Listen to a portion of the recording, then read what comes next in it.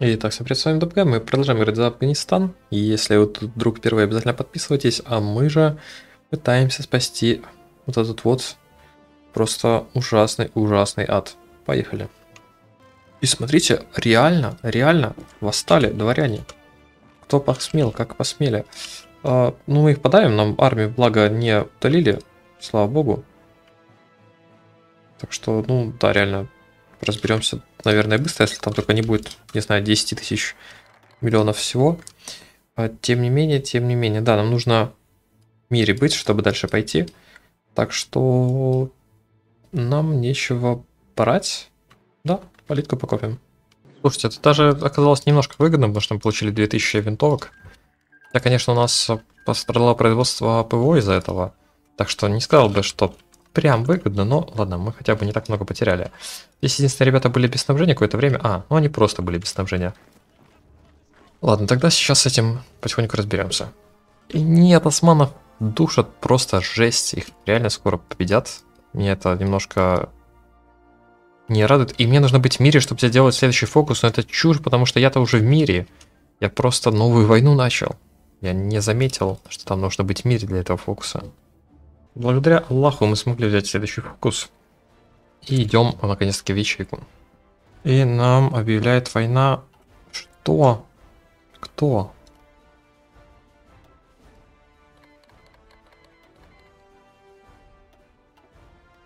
Кто нам объявил войну? Ты что, больные? Ну ладно. Так, у нас второй золотой век ислама и... Что мы тут делаем? Турбаром что-то делаем. Плюс форсаппорт, минус политка.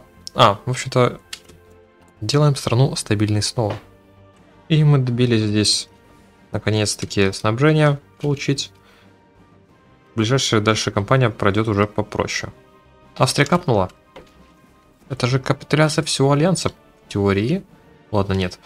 Но, да, Германия еще держится, но у Осман, по ощущениям, все. Закончилась игра. Мы будем их спасать, очевидно. И османы позвали нас как своего союзника. Что? Мы, видимо, против кого-то вместе воюем. Я не очень понимаю, против кого. Видимо, против вот этой невероятной... Да, эта страна объявила войну примерно всему миру. Звучит как забавная страна, если вы про нее знаете, напишите в комментариях. Может, я когда-нибудь сам тоже посмотрю. А, но мы нет, мы занимаемся поднятием хотя бы какой-то пехотной армии. Нормальной. Так, проводим какой-то дурбар. Смотрите-ка. Ничего себе. Эмират Вечного Огня у нас. Только я у нас. Появляется фокус. И мы становимся тут немножко э, тоталистами. Ну, тоталистами только от слова «тотальная война», видимо. Ну ладно. Кайзер от таких событий вообще умер. Но, кстати, они, по-моему, начали контратаковать. Да, они отбили часть Рейна. Германия, съев Австрию, в принципе, сменила ситуацию как-то, да. И Болгария, конечно, здесь победила Осман, но мы еще вернем ее. И капнули эти ребята, забираем их себе. Тоже, думаю, будем интегрировать обязательно. И сейчас думаем, куда мы пойдем. У нас там Дели, я думаю, не так далеко будет. Вот здесь вот. Ну и Заняться Россией пора. Но я думаю, вот эта армия у нас пойдет Дели, которая сейчас обучается. А вот эти ребята поедут все же воевать сюда. Смотрите, это этот парень имеет пустынного лиса, а этот не имеет. Соответственно, этот идет сюда. Ну и плюс здесь, наверное, будет чуть более серьезное сопротивление. А этот пускай как-то воюет здесь. Плюс мне надо, наверное, поприкрывать вот эти всякие провинции, ну так чисто на всякий случай. Хотя, я думаю, мы достаточно быстро там пробьемся. И сокрушим мы духовенство и получим себе, можно сказать, стопроцентное ТНП, потому что будет у нас еще военная экономика, так что да, прелесть. Я еще в свое время проложил здесь вот ЖД, чтобы соединить наши западную, так сказать, и восточную часть империи. И здесь, чтобы тоже соединиться здесь, чтобы быстрее перебрасывать войска в случае чего, хотя все еще ЖД у нас, конечно, не хватает. Нам ленд закидывают очень много стран, у нас, как обычно, на это все не хватает даже конвоев, но потихоньку с этим справляемся. И самое главное, потихоньку сейчас готовимся к войне с Россией. Так что эти ресурсы не пойдут в никуда. Я здесь блин, будет достаточно сложно. У нас фронт будет очень расширяться постоянно. Только здесь он будет сужаться. Эта армия, походу, пойдет все еще только на западный фронт. Я не вижу возможности у нас еще и с Индией, с воевать, если честно. Итак, у нас КБ готов. Заканчиваем мы тренировочки. И слушайте, пока Россия не успела выставить войска, надо, надо рашить, надо атаковать. Призываем всех союзников, кстати говоря, это, возможно, плохая идея. Возможно, хорошая, кстати говоря, это даст проход, наверное, вот здесь вот, ребята. Ну, посмотрим сейчас, как это будет работать. Нам бы на Болгарию тоже напасть сразу. Все, прекрасно. Вторая скорость на всякий случай. И душим нам нужно вайпать побольше войск. И здесь у французов танки. Так, на танке... Про танки разговора, как говорится, не было. Это что-то э, из нечестного. Ну, тогда придется немножко позащищаться. Ладно, в любом случае, это заставит э, Интернационал сюда прислать войска. Нам не сильно нужно его именно капать, нам скорее спасти Германию от того, что здесь слишком много войск вражеских. Ну и Россию мы можем действительно здесь захватить территории. Кроме этого, возможно, здесь нам что-то интересно, но в целом, в целом нам интересно именно спасение союзников. Это не какие-то наши империалистические замашки. И контратака французская, я понимаю, что да, нам не хватит текущих наших сил. Нужно деплоить побольше, этот фронт сужать. И эту новую армию деплоить, соответственно, оставлять новую линию обороны. И, короче, здесь как-то очень странно работают границы. Здесь что-то сломано, здесь что-то тоже, видимо, непроходимая какая-то территория. Точно так же здесь имеется, ну, что-то, наверное. Это немножко усложняет нам создание нормального фронта. Ну, я немножко меняю, так сказать, концепт войны. Это мы оставляем, чтобы Россия это захватывала. Она просто сюда пускай растягивает наши войска. И мы переходим вот сюда, и здесь будем сейчас более концентрированно атаковать. Здесь у нас очень странно границы подвигались несколько раз. Но я думаю, мы сейчас сможем здесь пробиться. Хотя штаты там, как говорится, солидные у этих дивизий. Очень даже. Поэтому будет не так просто. Но кто говорил, что будет просто? Мы, в принципе, сразу были готовы к серьезному сопротивлению. С ней деплоится дивизии из-за того, что им не хватает, видимо, ПВО, да, чуть-чуть. Деплоится, я вам сказал, быстрее. Война не ждет. То такая, блядь, то такая. Бегом воевать. Строим мы там что-то, и пускай нам весь мир завидует, либо... И мне все еще нравится старый Кабул. Ну, старый Кабул звучит нормально. И у нас, э, да, закончились, считайте, все фокусы практически. Ну, что я могу сказать? О, перестроить нашу армию, нашу авиацию, наш флот. Ну, начнем с армии. Может, мы тут еще какие-то бафы получим. Я бы очень хотел. Особенно у нас вот такие вот дебафы имеются. Не супер страшно, но организации жалко. Вообще мы захватываем 30% снаряжения, что выглядит забавным. А, но, вот да, 5000 винтовок это не так плохо, но из 50. Угу, это маловато. Ой, у нас тут ЖД оказывается на приколе, вот таком вот. Давайте-ка соединять его то ребята без снабжения тут без соли, так сказать, доедают. Но нет, теперь солью подвезли. Тут опять что-то сломано, видите, здесь сюда не двигается, но здесь какой-то еще фронт есть при этом всем. Отвратительно абсолютно, когда такое что-то происходит. Но что нам сделать? Только сюда дивизию отправить вручную.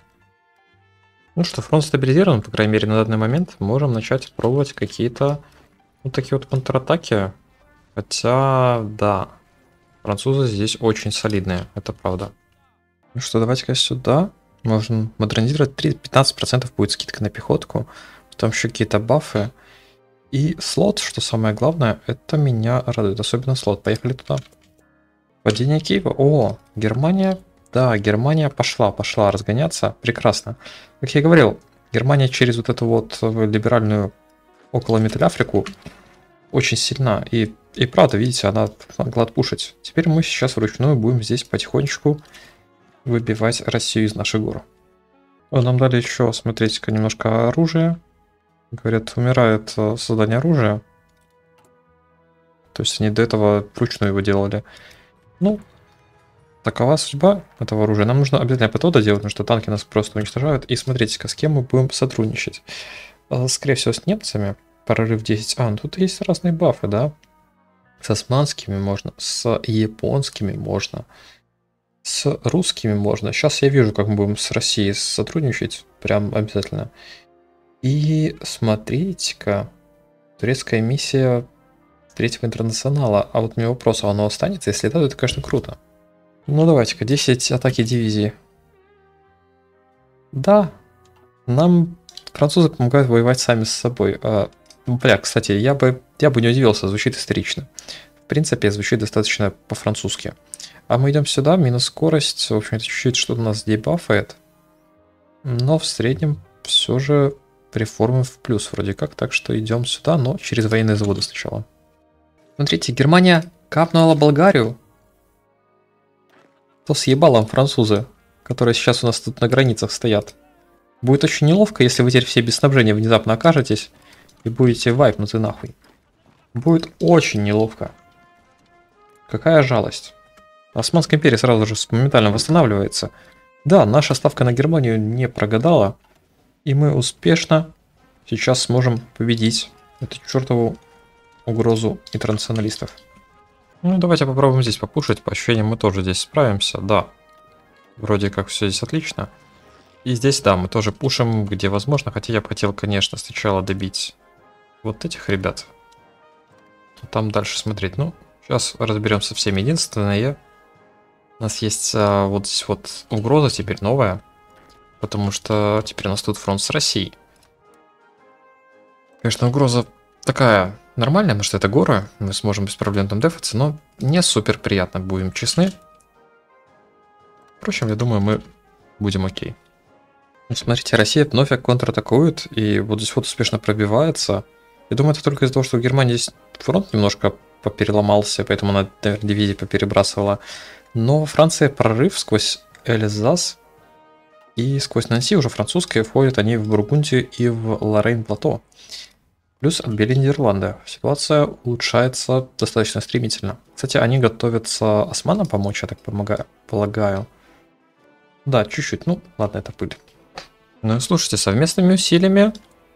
Сейчас фронт, конечно, здесь опять появился. Войска полностью мы не вайпнули, потому что, очевидно, здесь все еще было много войск. И там есть откуда им снабжаться, откуда-то новым войскам заходить. Но ситуация очень сильно улучшается. Хотя вот здесь вот опять есть какие-то, ну, страшные вещи. И, кстати, замерились все с Италией. Это даже хорошо, это минус страна. Вот это меня очень напрягает. Но как будто я только усиливаю давление на Россию. Здесь еще Трансамурская республика тоже должна усиливать давление. Но пока как-то не сильно успешно. Единственное, меня радует, что очень много здесь есть танков у России. Но применять их она в горах не может. И по факту они здесь очень их теряют. Если бы эти танки были бы, допустим, вот здесь, было бы много тяжелее. Здесь все еще есть танки. Кстати, в России, на удивление, очень много танков. Это правда, кстати говоря. Там больше всего танков, так что я супер перестраиваю сейчас в ПТО. Собственно говоря, наверное, надо сразу его зарашить, было бы хорошо. И, конечно, добавляю это ПТО в нашей дивизии. Сразу будет не хватать, но потихоньку дивизии начнут получать эту самую нам необходимую хард-атаку. И сразу давайте что? Еще одна армия, нам нужно больше дивизий, однозначно. И, кстати говоря, даже эти легкие танки слабее нашей пехоты, потому что, видите, я здесь четырьмя пехотными дивизиями смог переманеврировать, э, получается, четыре танковые дивизии. Это очень забавно. Хотя по ощущениям было здесь пятая, которая вайпнулась, потому что мы ее опередили. Вот типа такого там было, по-моему. Э, это действительно выглядит очень смешно. Но так вот воюет ими. Плюс я не знаю, какой у них шаблон, мы можем только предполагать. Но нет, там танков есть, но, видимо, там слишком много танков. Да, вот еще 4, тут уже 3, 2 и 1 танк. Прекрасно, но танков этих просто они делают как пирожки. Все-таки Россия в Кайзершизе очень сильная, у них очень сильные бафы. И что я могу сказать? Афганистан успешно отвоевал Кавказ. Уже освобождены Азербайджан, Грузия. Здесь у нас освобождены просто люди Кавказа, конфедерация, забавное название. И да, здесь у нас все еще все очень медленно. Здесь какая-то очень странная тактика флексика от России, пока что вроде неуспешная. Ну и да, мы немножко тоже потеряли дивизии. Все-таки не только меня здесь, точнее, не только я здесь окружаю. Периодически, когда то не смотрю и на автоплане воюю, такие территории они окружают. Но ничего, у нас сейчас будет готова эта армия, будут готовы пополнения к текущей армии. И, в принципе, сможем мы нормально перейти в наступление. Пока что мы только, я бы сказал, отбивали безопасность своих границ. Но Германия здесь вроде как тоже успешно снова контратакует. Тут вообще непонятно, что происходит в этом фронте. Ну и мы точно пройдем сами в атаку. Так что с вами был DubGame. Обязательно подписывайтесь, если вы еще вдруг не подписаны. Лайки, комментарии, твити, скоростбусти, все в описании. И до скорых встреч. Всем пока.